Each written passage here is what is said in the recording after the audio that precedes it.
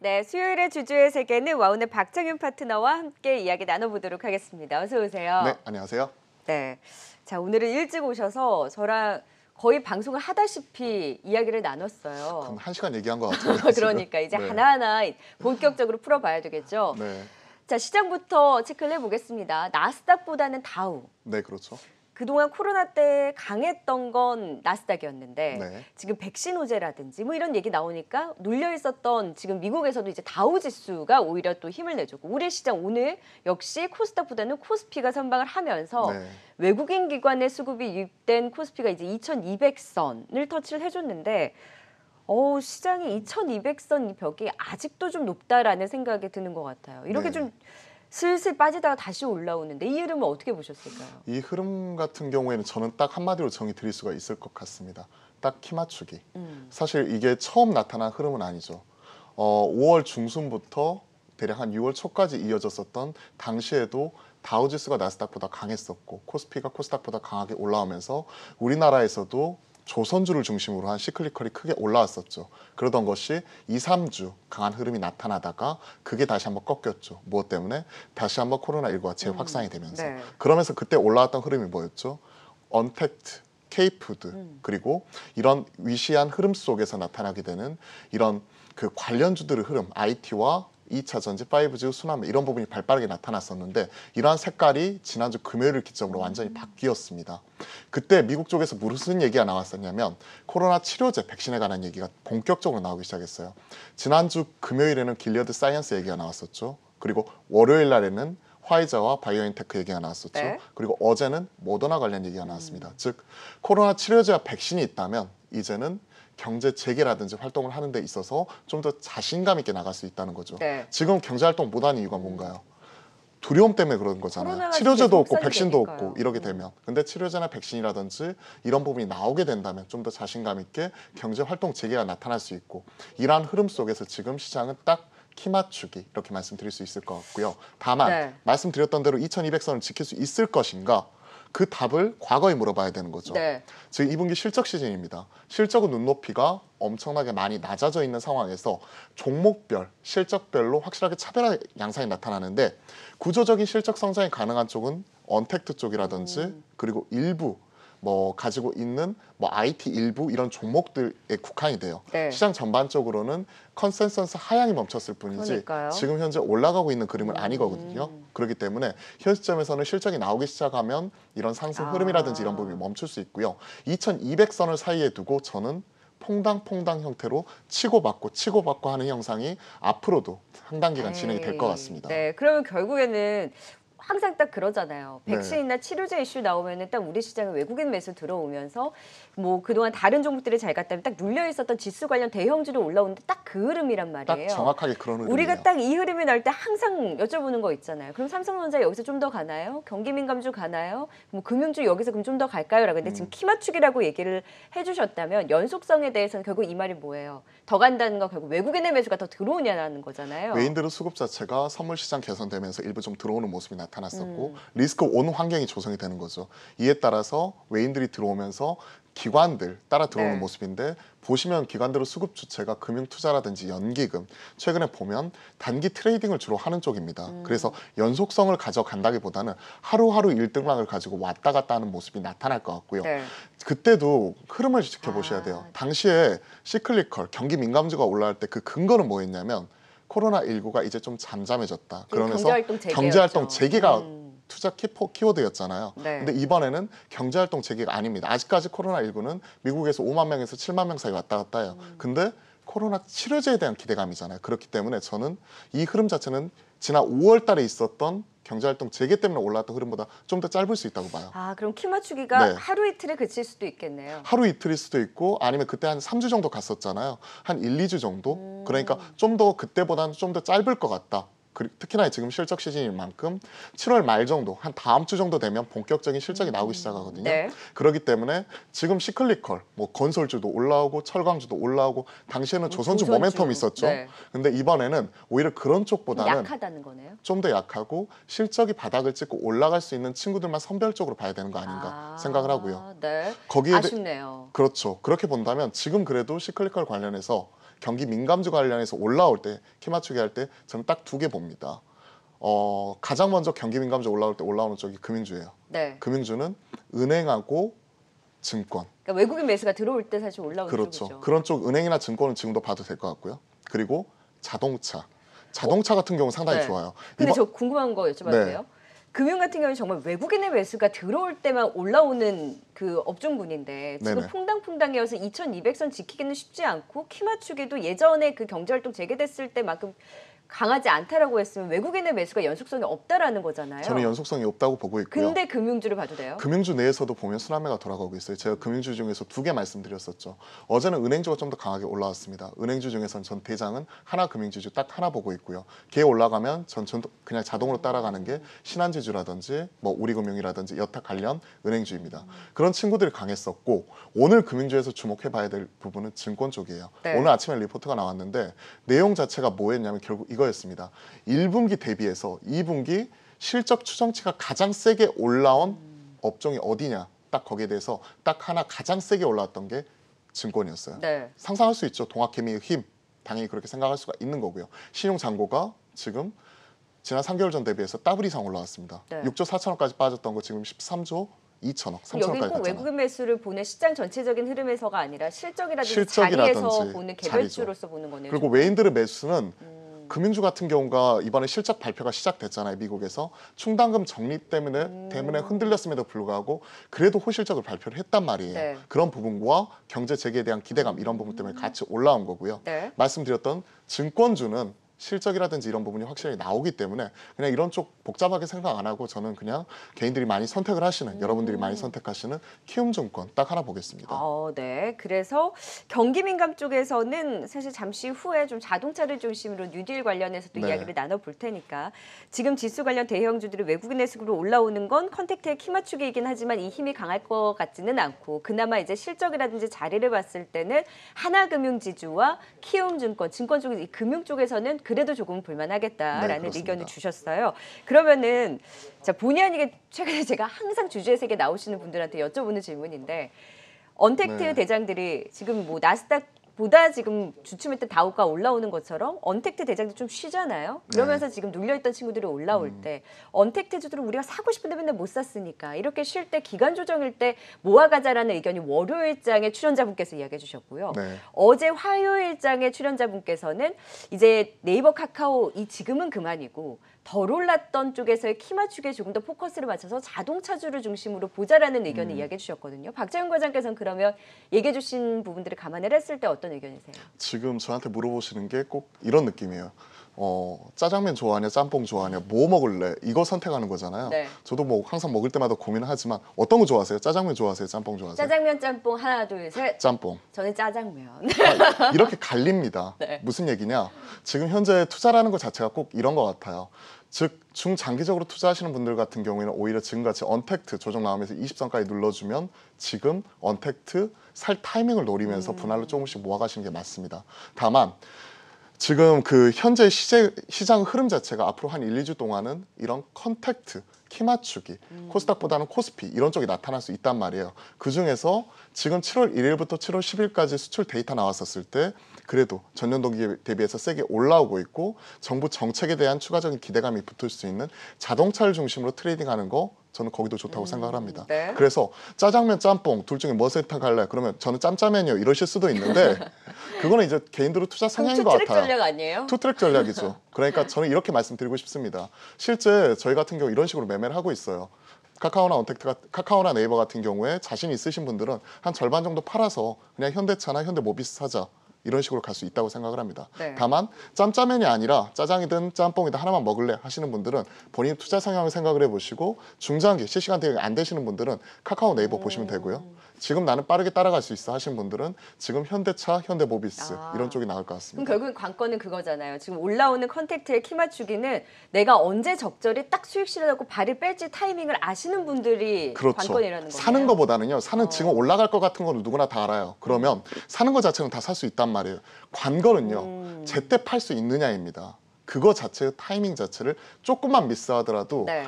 시간 시장에서 완전히 소외돼 버리거든요. 네. 엇박 타니까 그런 부분을 확실하게 본인의 투자 성향 네. 음. 본인한테 물어보시고 딱 결정하시면 좋을 것 같습니다. 네, 지금 짬짜면을 생각하시는 분들이 많으실 것 같은데요. 네. 저희 투트랙 전략과 더불어서 그러면 이제 경기 민감 이런 지수 대형주들이 올라올 때 언제 우리가 발을 또 뺄 수 있는 그 타이밍을 자동차를 중심으로 또 이야기를 해볼게요. 네, 그렇죠. 오늘 현대차 그룹주 굉장히 강한데 와, 어제 저희 한국판 뉴딜 딱 네, 발표 그렇죠. 나왔을 때 2시를 기점으로 해서 사실 관련주도 미리 움직였던 종목들은 막 차익 실현도 나오고 음. 변동성이 있었거든요. 딱 그 이후에 이제 다시 한번 숨을 고르고 지켜보니 정말 수소차, 전기차, 모빌리티 쪽이 그린 뉴딜에는 조금 더 이제 비중이 높았고 5G, AI 데이터와 같은 이제 디지털 뉴딜 안에서는 이쪽이 이제 높다 보니까 그렇죠. 현대차를 중심으로 한 mobility와 5G 관련한 종목들이 강하단 말이에요. 네, 그렇죠. 근데 어제 정말 함정원 사장님 이 얘기 딱 하고 가셨는데 진짜 딱 이쪽에서 움직여요. 정확하게 딱 이쪽이고 어. 또 공교롭게도 월요일 날 함정란 차장하고 같이 이어 관련돼서 서로 간에 얘기를 조율을 네. 했었어요. 그러면서 저도 이제 거기 방송 나오면서 함정란 차장이 뒤에서 이제 뭐 이런저런 얘기를 같이 어, 나누기도 했었는데 네. 공통된 예, 의견이신가 공통된 봐요. 의견이 많이 오. 겹치는 것 같습니다. 한 5년 이상 같이 이렇게 방송을 하다 보니까 서로 간에 의견 교환도 많이 하는데요. 텔레파시. 저도 예 동일하게 생각을 합니다. 사실 모빌리티 관련해서 수소 경제 활성화 이런 부분이 있었죠. 어제 딱 보면 2시 전후해 가지고 한국판 뉴딜 발표하고 나서 가장 가파르게 떨어졌던 친구가 태양광이라든지 풍력 맞아요. 그리고 일부 수소차 관련주들 이런 쪽이 좀 많이 떨어졌습니다. 즉 이벤트 소멸로 본 거죠. 다만 이제 다시 한번 치고 올라올 때 가장 세게 올라올 수 있는 거는 실체가 있는 친구들인데요. 그 중에서 특히나 수소차 관련해서는 확실하게 올라오는 거고 현대차 앞서 같이 체크해서 말씀을 드렸으니까 현대차 그룹에서 수소차 가장 중요한 역할을 하고 있는 쪽이 어디일까요?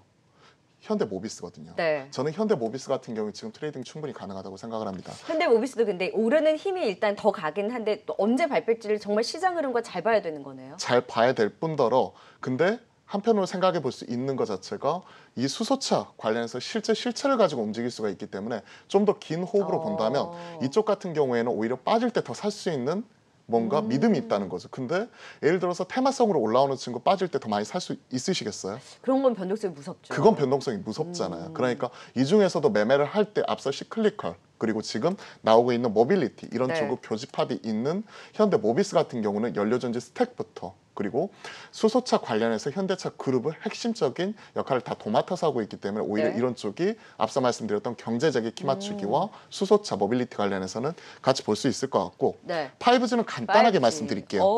어우, 5G는 여기 다 나와 있습니다. KMW, 오이솔루션, 에이스테크, 다산 네트워크스. 오늘 외국인이 계속 다 5G를 담더라고요. 다 서진 시스템. 어. 지난주도 말씀드렸고 지지난주도 똑같이 말씀드렸던 것 같아요. 저만큼 5G에 대해서 아니면 아니다 음. 확실하게 말씀드린 사람도 별로 없을 겁니다. 그러면서 이제 여러분도 그 말씀 하셨을 거예요. 왜 저 친구는 방송에 나와서 좋은 얘기해도 모자랄 판에 왜 저런 얘기 하고 있느냐. 안 좋았으니까요. 심지어 저 지금 오늘 아침 11시에 RFHIC 탐방을 가려고 전화했더니 요즘에는요 원격으로 탐방합니다 해서 어. 원격 탐방을 하고 왔어요. 그러면서 RFHIC 같은 경우에 좋던가요? 탐방을 했는데 결과를 말씀드릴게요. 일단 지금 실적 발표 전이지만 실적에 대한 눈높이 자체는 낮춰놓는 게 좋습니다. 제 아우, 개인적인 왜 생각은 맨날 실적 안 나오는 거예요? 개인적인 생각은 2분기와 3분기도 실적 안 좋을 거예요. 네. 전 적자까지도 봅니다. 음. 그리고 4분기도 전년 동기 대비해서 별로 볼 건 없을 것 같아요. 그럼에도 불구하고 왜 이런 친구들이 가느냐? 지금 얘기 나올 수 있는 것 자체가 7월 23일 날 있을 미국에서 주파수 경매 이와 더불어서 삼성전자가 버라이즌뿐만이 아니라 AT&T까지 즉 그동안에 작년에 5G가 갔던 이유는 뭐죠? 네. 기지국 투자 실적이 나왔잖아요. 근데 작년에 무슨 얘기했었나요? 올해부터는 이제 해외 수출 많이 나올 겁니다. 코로나19 때문에 못 나왔다가 처음으로 수출 얘기 나온 것 자체가 6월 말이었어요. 그때 뭐라고 말씀드렸나요? 삼성전자 팬더 지금 무조건 봐야 됩니다. 맞아요. 대장은 에이스테크입니다. 이렇게 말씀드렸잖아요. 오이솔루션도 이야기해 주셨고. 그렇죠. 그때 공략주로서 오이솔루션도 체크를 해드렸고요. 네. 이런 친구들 같은 경우는 앞으로 7월 23일 모멘텀도 있고요. 그리고 추가적인 수주 발표 이런 것도 나올 수 있을 것 같습니다. 오늘 5G 탐방으로서 체크를 했는데 그와 관련된 사항은 계속해서 또 전달 드릴게요. 근데 실적 시즌에는 그럼 좀 주춤할 수 있겠네요. 실적 시즌보다는 지금은 two track으로 가야 돼요. 그러니까. 실적이 안 좋을 거를 이미 다 알고 반영을 하는 건가요? 그렇죠. 아니면 섬- 흔들릴 수 있나요? 2분기까지 안 좋을 거 선 반영해서 5G 같은 경우에는 untact라든지 다른 친구도 올라올 때 유독 못 갔었잖아요. 아, 네. 그래서 선 반영해서 하반기부터 개선에 대한 기대감이 나오는 실적 관련 좀 좋아요. 음. 근데 그 중에서도 옥과 석을 구분을 해야 되는데요. 전 딱 한마디만 말씀드렸습니다. 무조건 지금은 삼성전자와 함께 해외 시장 진출할 수 있는 삼성전자 vendor를 사야 되는 거고 대장은 에이스테크, 오이솔루션, 그리고 서진 시스템, KMW, RFHIC 이런 친구들이고 음. 네트워크 장비 관련해서는 다산 네트워크스 그리고 최근 솔리드까지 올라오잖아요. 네. 이쪽은 계속해서 순환매단으로 최소한 단기적으로는 7월 23일 그리고 음. 그 이후로도 계속해서 바라볼 게 있겠다 이렇게 말씀드리겠습니다. 그러면은 지금 뉴딜 관련해서 옥석 가리기 옥은 현대 모비스와 함께 그렇죠. 5G 관련주 삼성향 수출 기대감이 있는 이 친구들 다. 네, 이 친구들 다 사실 수 없으면 대장을 사야 되는데 오늘도 물어본 질문이 그거였어요. 에이스테크 지금 사도 되나요? 맞아요. 솔직히 말씀드리면 저 지난주에 샀는데 지금은 못 사겠습니다. 두려워요. 너무 올랐어요. 너무 올라서 너무 서 있어서 근데 밑에서 따라갈 수 있는 친구를 체크를 해보았더니 이런 친구가 있더라고요. 솔리드가 어제 이렇게 뽑았었죠. 네. 음. 똑같은 프론트홀 그리고 중계기 장비 할 수 있는 HFR 같은 경우는 가능하지 않을까 아. 이렇게 생각을 하고 있어서 솔리드와 HFR은 지금 자리가 그래도 좀 따라잡을 수 있는 자리다. 솔리드가 어제 튀어서 저는 HFR. 아. 그러니까 이런 겁니다.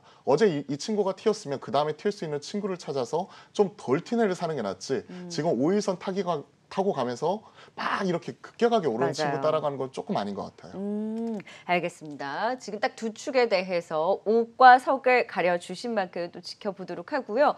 오늘 사실 핵심 기판이에요. 네, 맞아요. 음. 기판주의 재발견. 오늘 뭐 대덕전자도 이슈가 있었고요. DKT와 네. 이제 BH가 같이 상한가를 가는 퀄컴의 안테나 케이블인가요? 그렇죠. 기판 업체인데 안테나 케이블, 5G 관련한 통신 부품 관련해서 이제 그 공급 소식이 전해지고 대덕전자도 사실 기판인데 비메모리 쪽 이쪽으로의 지금 신규 시설 투자 얘기가 나온 거잖아요. 네, 맞아요. 근데 이 각각 이슈는 다른데 다른 기판 관련주까지 같이 올라서고 있거든요. 그러니까 묘하게 이쪽은 그냥 비메모리고 그러니까요. 이쪽은 5G인데 둘 다 공통점은 기판이더라. 그래서 다른 기판이 같이 그래서 올라오는 다른 기판도 다 같이 올라가면서 뭐냐 오늘은 PCB의 재발견인 거냐 이렇게 되는 거죠. 네. 이렇게 생각을 합니다. 일단은 5G 쪽에서 일단 좋은 소식이 나왔어요. 어, 퀄컴 측에서 차세대 이런 그 통신 칩 사용을 하는 데 있어서 기존에는 이제 연결하는 거를 모뎀 칩과 그리고 그 안테나를 연결하는 것 자체가 동축 케이블, 즉 구리선을 사용했다면 5G가 이제 고주파 대역되잖아요. 정보 음. 처리량도 많고 많게 되고. 그래서 이전에 구리선을 이제는 이런 PC, RF PCB가 대체를 하는 겁니다. 네. 그러니까 펄렁펄렁한 이런 PCB 그 사진 보셨는지 모르겠지만 그 이런 FPCB가 대체를 하는 건데 그쪽에서 가장 앞서 있는 업체가 바로 BH고요. 음. 네. BH 자회사가 DKT인데 네. DKT에서 지금 제작을 하고 있는 FPCA죠.